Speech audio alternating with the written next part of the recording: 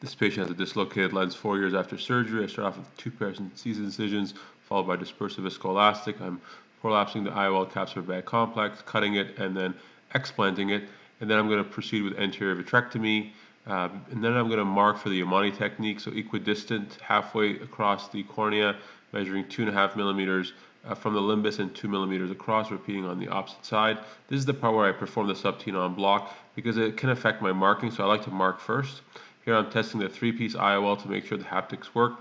And interestingly, as I inject this three-piece IOL, I notice that the leading haptic is um, has been cut, so I need to put another three-piece IOL.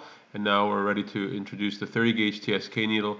I'm using a micrograsper in my right hand here I'm going to pass and externalize, uh, or I should say feed the haptic into the, into the lumen of the 30 gauge TSK needle. Here I'm adding more dispersive viscoelastic to enhance the view. And again, now holding the haptic with uh, my left hand and then 30 gauge TSK needle with my right hand. Uh, I'm going to feed the haptic. Now these are the PMMA haptics. They're more likely to kink, so I'm just being extra careful, but I didn't come across any issues.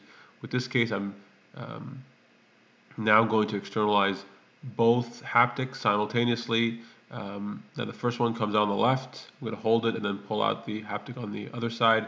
And then I'm going to use my low temp cautery to create two terminal bulbs on each side. And then I'm going to tuck um, into the intrascleral path. I'm going to get rid of all the viscoelastic, check for any vitreous.